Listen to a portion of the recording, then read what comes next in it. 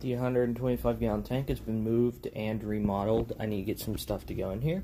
Uh, there's just a few fish right now, just some zebra danios and some tetras.